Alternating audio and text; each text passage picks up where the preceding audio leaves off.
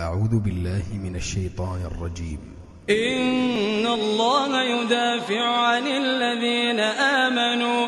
إن الله لا يحب كل خوان كفور. یہی ہم خطبے کو روکتے ہیں۔ حالات حاضرہ سے متعلق ایک دو باتیں بیان کر کے اپنی بات کو ختم کریں گے۔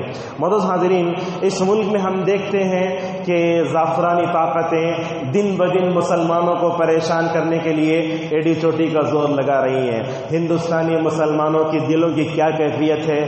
دلوں کی دھڑکنیں تیز ہو جا رہی ہیں۔ ایک دس باتیں ہم آپ کے سامنے رکھیں گے۔ اس کو ذرا سمجھنے اور سننے کی کوشش کیجیے بابری مسجد کے فیصلے کے بعد نئے نئے قانون کے سارے ہندوستانی مسلمانوں کو خصوصاً پریشان کرنے کی کوشش کی جا رہی ہے۔ اور کیا کر رہے ہیں سارا سوشل میڈیا اس کو ایسے وائرل کر رہا ہے، جب بھی دیکھتے ہیں ہمارے دل کی دھڑکن تیز ہو جاتی ہے۔ اس ملک میں کرنے کا سب سے پہلا کام یہ ہے، مسلمان تو حالات سے گھبرا سکتا ہے، لیکن مومن حالات سے نہیں گھبراتا۔ اپنے عقید توحید کو مضبوط کرو۔ جیسے منافق کچھ بھی ہو جاتا نا، قرآن کہتا ہے یہ کل صحت علیہم۔ گھبرا جاتے۔ شرک کی وجہ سے مومن کے دل میں گھبراہٹ پیدا ہو سکتی ہے، لیکن توحید جب اس کے دل میں بیٹھ جاتا ہے نا، بڑے بڑے آزمائش آخر ٹکرا کر واپس ہو جاتے ہیں۔ ابراہیم علیہ السلام کو دیکھو، آگ میں ڈالا گیا۔ اللہ تعالیٰ نے آگ سے کہا یا نارکونی بردوں و سلام علی ابراہیم۔ تو پہلی یہ ہے کہ مومن حالات سے نہیں گھبراتا۔ دوسری بات یہ ہے، اپنے عقیدہ توحید کو پرفیکٹ کرو۔ اگر صحابہ کرام جیسا عقیدہ ہمارے اور آپ کے اندر ہے نا لوک سبھا کا راجیہ سبھا کا، دنیا کا کوئی بڑا آدمی کتنا قانون بنا لے، لیکن اس قانون کے سامنے مسلمان ڈرنے والے نہیں ہیں۔ اور اسی طریقے سے اس وقت میں کرنے کا تیسرا کام یہ ہے، اگر ہم یہ چاہتے ہیں عروج، قرآن کھولو۔ اگر ہم زوال سے دو چار ہے قرآن کھولو، عروج کن باتوں میں ہے؟ قرآن میں لکھا ہے، امت زوال کا شکار کیوں ہوئی؟ وہ بھی قرآن میں ہے۔ لہذا یہ کتاب خان عروج و زوال کی جو ہے حکمتیں بتاتی ہے۔ قرآن کے اندر کھول کر اپنی تصویر دیکھو۔ مدد حاضرین، دو باتیں۔ اگر امت اپنی کھوئی ہوئی عظمت کو جو ہے پانا چاہتی ہے اسے دو راستے اپنانا ہوگا، ایک تو اس کے اندر صبر و استقامت اور دوسرا ہے یقین۔ اللہ تبارک و تعالیٰ نے صبر کی وجہ سے، یقین کی وجہ سے بنی اسرائیل کو دنیا کی قیادت و سیادت دی تھی، جسے فرماتا ہے، وَجَعَلْنَا مِنْهُمْ عِمَّةً يَهْدُونَ بِأَمْرِنَا لَمَّا صَبَرُوا وَكَانُوا بِآيَاتِنَا يُقِنُونَ آیت کی تفسیر میں علامہ ابن تیمیہ رحمۃ اللہ علیہ کہتے ہیں، بالصبر والیقین تنال الامامت فی الدین صبر کی وجہ سے، یقین کی وجہ سے امت خلافت کو پا سکتی ہے۔ آج ہمارے اندر نہ صبر ہے اور عقید توحید کا یقین ہے۔ جب دونوں چیزیں اٹھی حاکم کی جگہ امت مسلمہ محکوم بن گئی۔ اور اسی طریقے سے اس وقت میں کرنے کا اور ایک کام ہے، اللہ تبارک و تعالیٰ پہ بھروسہ کرنا چاہیے۔ دیکھیے موسا علیہ السلام جب بنی اسرائیل کو لے کر سمندر میں جا رہے ہیں، بنی اسرائیل پلٹ کے دیکھتے ہیں کہ فرعون آ رہا ہے۔ بولے، انا لمدرکون کہا، اے موسا جس نے زندگی بھر ہمارے جینے کو حرام کیا نا جس فرعون ہے وہ پیچھے آ رہا ہے۔ دیکھو، قوم کے ایمان میں، نبی کے ایمان میں کتنا فرق ہے۔ حضرت موسا کیا کہتے ہیں؟ ان ربی سیاح بے شک میرا رب میرے ساتھ امت مسلمہ کو اللہ نے یتیم نہیں چھوڑا۔ اللہ تعالیٰ کی مدد اس امت کے ساتھ ہے۔ کب؟ جبکہ اس کا ایمان نبیوں والا ایمان ہوگا اور اس کا ایمان صحابہ کے جیسا ایمان ہوگا۔ لہذا پریشان کن حالات میں نبیوں کی زندگی کا مطالعہ کرو۔ اس سے سخت حالات آئے نبیوں کے سامنے۔ لیکن ان کے ان کے پیر میں ذرہ برابر بھی زلزلہ نہیں آیا۔ دیکھو نبی صلی اللہ علیہ وسلم ابو بکر رضی اللہ عنہ کے ساتھ غار میں بند ہیں۔ مکے میں اعلان ہو رہا ہے، محمد کا جو سر لائے گا نا، سو اونٹ دیں گے۔ پورے لوگ محمد صلی اللہ علیہ وسلم کے سر کو تلاش کرتے ہوئے پہنچے۔ غار کے منہ تک آ گئے۔ ابو بکر کا دل لرزنے لگا۔ ابو بکر بشر تو بشر تھے، امت میں افضل تو تھے نا۔ کہا نبی صلی اللہ علیہ وسلم سے، یا رسول اللہ، یہ غار کے منہ تک پہنچ چکے ہیں. اگر یہ اپنے پیروں طرف بھی دیکھیں گے نا تو ہم کو دیکھ لیں گے. نبی صلی اللہ علیہ وسلم نے کیسے انداز میں ابو بکر رضی اللہ عنہ کو یقین دلایا، کہا، ابو بکر، تم ان دونوں کے بارے میں کیا جانتے ہو جن کا تیسرا اللہ ہے؟ اللہ یہ ابو بکر، ساتھ میں نبی صلی اللہ علیہ وسلم، تیسرا اللہ کا علم یہاں ہے۔ اللہ تبارک و تعالی وہاں فرماتا ہے، نبی نے کہا، لا تحزن، غم کرنے کی ضرورت نہیں، اللہ تعالیٰ کی معیت ہمارے ساتھ ہے۔ لہٰذا پریشان کن حالات میں اللہ پہ بھروسہ کرنا چاہیے اور بھروسہ ایسی عبادت ہے دل کی جب بندہ اللہ پہ بھروسہ کرتا ہے نا اللہ تعالیٰ اس کے لیے کافی ہو جاتا ہے۔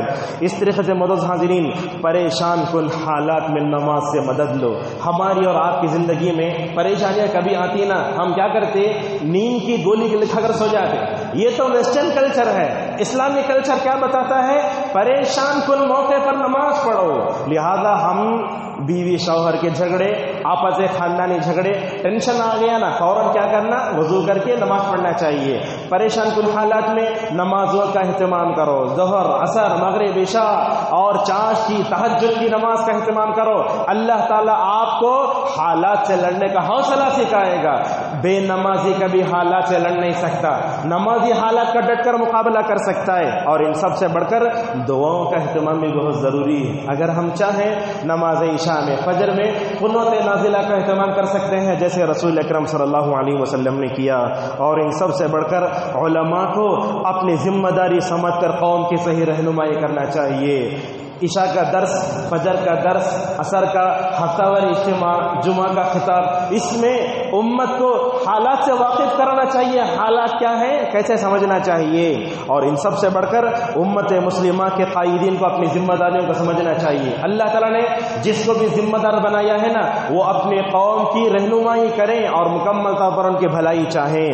اور اس وقت میں امت کی صفوں میں اتحاد کی بڑی سخت ضرورت ہے۔ ہو سکتا ہے، ائمہ اربع فلاں مسلک فلاں مسلک۔ لیکن ایسے وقت میں ہم تمام اختلافات کو بالائے تک رکھ کر ہماری صفوں میں اتحاد پیدا ہونا چاہیے۔ اور یاد رکھیں امت کی صفوں میں اتحاد کب آئے گا؟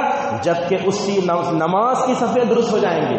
نبی صلی اللہ علیہ وسلم کہتے ہیں لوگوں نماز میں صفوں کو درست کرو۔ اگر درست نہیں کرو گے، اللہ تعالیٰ تمہارے دلوں میں اختلاف کو ڈال دے گا۔ اور ان سب سے بڑھ کر اس امت میں کرنے کا اور ایک کام یہ ہے، مسلمانوں کے پاس مستقبل کا صحیح منصوبہ ہونا چاہیے۔ اسرائیلی حکومت کو آپ جانتے نا وہ جب ایک مرتبہ بیٹھتے ہیں تو سو سال کی پلاننگ کرتے ہیں۔ آج ہمارے پاس نہ کوئی پلاننگ ہے، نہ کچھ ہے۔ مدارس میں، مساجد میں، اس ملک میں اسلام کا مستقبل کیا؟ مسلمانوں کا مستقبل کیا؟ ہمارے پاس پلاننگ ہونا چاہیے کہ ہم کو کیا کرنا چاہیے۔ اور یاد رکھیں، اس ملک میں کرنے کا اور ایک کام، ملک میں امن و امان کی صورت حال کو برقرار رکھنے کے لیے پورا ہمارا حصہ ہونا چاہیے۔ اور اسی طریقے سے ایسے وقت میں نوجوان اپنے ہوش نہ کھوئیں۔ کچھ لوگ دیکھتے ہوش کھو دیتے کیا ہوتا؟ امت کا جتنا ماحول جو ہے امن کا ہے، وہ امن کا ماحول ختم ہو جاتا ہے۔ لہذا نوجوان جو بھی کام کریں، علماء کی نگرانی میں کریں۔ ایسا کام نہ کریں جس سے ملک کی سالمیت اور اس کے امن کی صورت کو مکمل طور پر جو ہے تھکا پہنچتا ہو۔ اور یاد رکھیں، اس وقت میں واٹس ایپ پر، فیس بک پر کچھ ایسے میسیجز آتے جس کو جو جھوٹے ہوتے ہیں۔ جس کو پڑھ کر ہم صحیح سمجھ جاتے ہیں۔ یاد رکھیے کوئی بھی میسج آئے، علماء سے رجوع کرو، یہ میسج صحیح ہے یا غلط ہے؟ جھوٹے میسج وائرل ہوتے نا، ان کو پڑھ کر ہمیں جو ہے جوش میں نہیں آ جانا چاہیے۔ اور ان سب سے بڑھ کر میڈیا کے منافقانہ کردار کو بھی اپنے ذہن میں رکھنا چاہیے۔ میڈیا کیا کرتا معلوم ہے؟ پورا دشمنان اسلام کے ہاتھوں میں ہے۔ جس کو بیان کرنا چاہیے، اس کو بیان نہیں کرتا۔ جس کو بیان نہیں کرنا چاہیے، اس کو بیان کرتا ہے۔ تو ہم کیا کرتے؟ ٹی وی میں نیوز دیکھ کر ہمارے جوش ہوش کھو دیتے ہیں۔ اور اس کے بعد جو ہے پورا ملک جو ہے خراب ہوتا ہے اور اسی طریقے سے اس وقت میں کرنے کا دعوت کا کام غیر مسلموں کے ذہنوں میں اسلام کی جو غلط تصویر بیٹھی نا، اس کو نکالنے کی کوشش کریں۔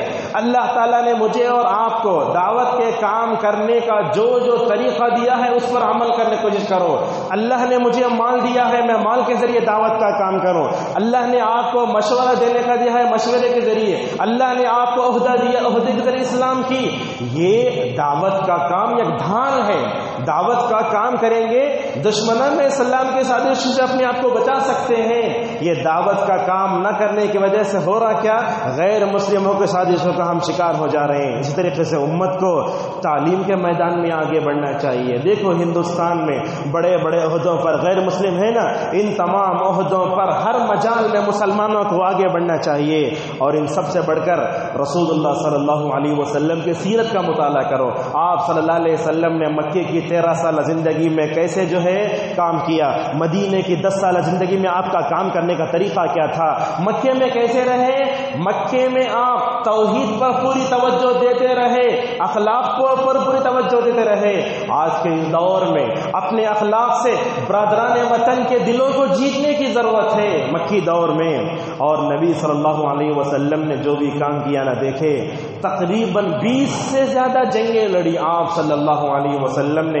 لیکن تاریخ انسانی میں سب سے کم افراد ان جنگوں میں مارے گئے۔ لہذا رسول اکرم صلی اللہ علیہ وسلم کی سیرت کوئی ناول نہیں ہے یہ سیرت دعات کے لیے جہاں زیادہ راہ ہے وہیں مسلمانوں کو عین وقت میں کیا کرنا چاہیے، وہ سبق سکھاتی ہے۔ اور ان سب سے بڑھ کر تحجد کا اہتمام کرو۔ رات میں اٹھ کر اپنے ملک کے لیے، اپنے ایمان و عقیدے کی حفاظت کے لیے دعاؤں کا اہتمام کرو۔ اور صحابہ کے صبر و استقامت کو اپنے اندر پیدا کرو۔ اور ہمارا جو بھی کام ہو، علم و بصیرت کی روشنی میں ہونا چاہیے۔ آج کے خطبے کی آخری بات جو ہم آپ کے سامنے بیان کرنے جا رہے ہیں، ہندوستانی ہو حکومت جو بھی قانون بنائے۔ یاد رکھیں، قانون دان جو ہوتا ہے نا، اس کی روشنی میں قانون کو سمجھنے کی کوشش کریں۔ وہ قانون ہمارے مخالف ہے یا ہمارے موافق ہے، اس سے ہمیں لے جانے نہیں ہے۔ ہم ہندوستانی ہیں، ہندوستانی ہونے کے ناطے ہمارے پاس پورے دلائل، پورا پروف مکمل ہونا چاہیے۔ آدھار کارڈ سے لے کر آئی ڈی کارڈ سے لے کر پورا پورے بینک ہر ایک سے لے کر ہماری ہر چیز پکی ہونا چاہیے۔ دیکھیے، مسلمان اس ملک میں رہتے ہیں، نہ ان کا نام صحیح ہے، نہ ان کے ڈاکومنٹ صحیح ہیں۔ سمجھیے، اللہ نے یہ حالت پیدا کی ہے نا، انشاءاللہ یہ مسلمانوں کو اپنا ریکارڈ صحیح کرنے کے لیے ہیلا بن گیا ہے۔ لہذا اس قانون کو اپنے لیے زحمت سمجھنے کے بجائے رحمت تصور کرو۔ اور یہ بات یاد رکھیں، نبی صلی اللہ علیہ وسلم، جہاں تنگی آ جاتی نا وہاں امت کو آسانی دکھاتے تھے۔ نبی صلی اللہ علیہ وسلم نے فرمایا لوگوں جب زیادہ تکلیف بڑھتی نا، اللہ وہی کیا کرتا ہے، اپنی نصرت کے دروازے کھولتا ہے۔ اور یاد رکھیں، اللہ تعالیٰ کی مدد کو پانے کے لیے صبر سے بہتر اور کوئی بڑی چیز نہیں ہے۔ اللہ نے آدم سے لے کر رسول اللہ صلی اللہ علیہ وسلم تک جتنے نبیوں کو بھیجانا ہر نبی کو صبر سکھایا۔